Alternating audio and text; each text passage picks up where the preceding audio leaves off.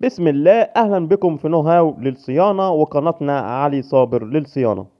موضوع السير ده موضوع طبعا مهم جدا في ال- الغسالة وخاصة ان لما بيكون السير ده مشدود أزيد من اللزوم بيحرق الموتور وبيعمل مشاكل في ال gearbox وبيؤدي لتلف ال gearbox.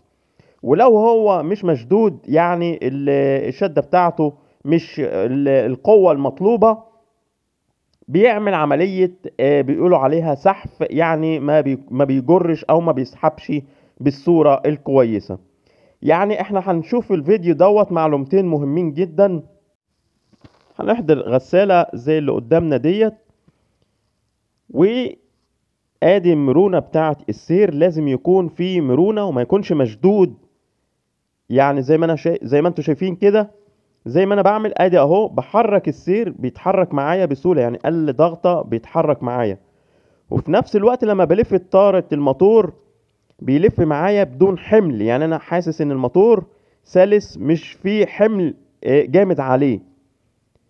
برضو لف أديني بلف الطارة بتاعت ال- gearbox برضو فيها مرونة.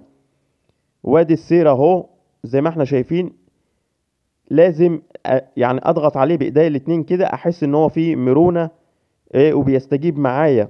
لو ما استجابش معاك يبقى فيها مشكلة. خلي بالكوا المعلومات دي مهمة جدا. طارة الموتور لازم تكون سلسة. طارة الجيربوكس لازم برضو تكون سلسة. يعني وأنا بدور الطارة بإيدي كده لازم تكون سلسة. طيب الكلام دوت لو السير مشدود أزيد من اللزوم.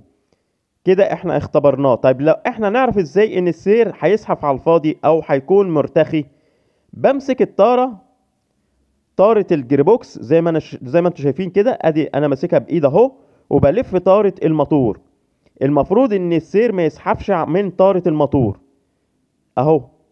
شايفين؟ أنا بمسك بحاول أمسك طارة. طبعا التصوير معلش أنا بصور يعني حاطط الموبايل مفيش إلا أنا بصور لوحدي. المهم ان الطارة بمسك طارة ال gearbox وبحاول ألف طارة الموتور المفروض إن هي ما تستجيبش معايا وتكون فعلا ماسكة. وبعمل الكلام دوت برضو بمسك طارة ال- الموتور وبلف طارة ال gearbox المفروض ما السير ما يسحبش من طارة ال gearbox. يعني هنا كده يبقى أنا ال ال السير معايا مظبوط. طيب لو بيسحب يبقى في الحالة ديت إن أنت هتعمل شد للرجلاش اللي موجود عند الموتور. وكل الغسالات تقريبا آه، سواء نص أوتوماتيك أو أوتوماتيك فيها رجلاش زي اللي إحنا شايفينه دوت.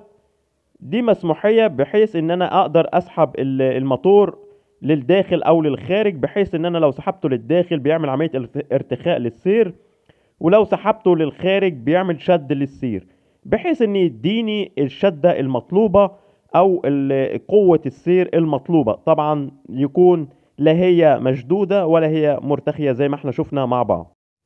تاني حاجة إزاي أركب أو أخلع السير بسهولة؟ عشان في ناس كتير بتقعد كتير جدا تركب في السير. ال- السير ليه طبعا طريقة معينة في فكه وتركيبه. آه، بنبدأ دايما لما نيجي نفك السير بنبدأ بالطارة الكبيرة. يعني أشوف أنهي فيهم الطارة الكبيرة. في الغسالات عندنا دايما بتكون الطارة الكبيرة هي ال gearbox. يعني دايما الطارة الصغيرة بيبقى الموتور والطارة الكبيرة هي ال gearbox. وعلشان كده إحنا دايما بنبدأ لما نيجي نفك بنفك الأول من عند ال gearbox في أي غسالة.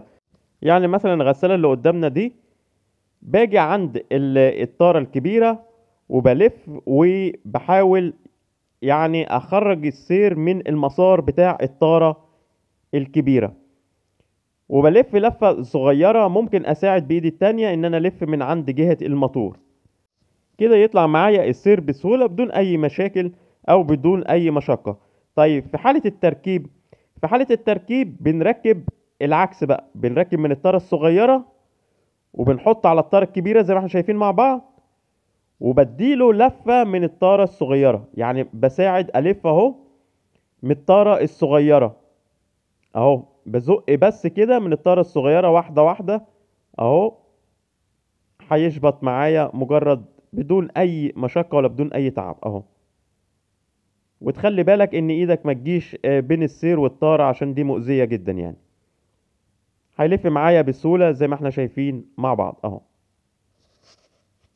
وبلف واحدة واحدة الطارة الصغيرة لحد ما. يثبت على الطارة الكبيرة يعني دي معلومات مهمة جدا على السريع كده وأتمنى أن أكون يعني فدتكم بمعلومتين ولو في برضو استفسارات أو أسئلة برضو معاكم إن شاء الله على القناة أو على الموقع إن شاء الله نرد عليها ولو في فيديوهات برضو أنتوا عايزين حاجة معينة أشرحها برضو ابعتوها لي لأن أنا بجمع المعلومات اللي أنتوا عايزينها وفي أقرب فرصة بقوم منزلها وعامل لها فيديو. آه لهنا أكون انتهيت من شرح الفيديو وألقاكم على خير.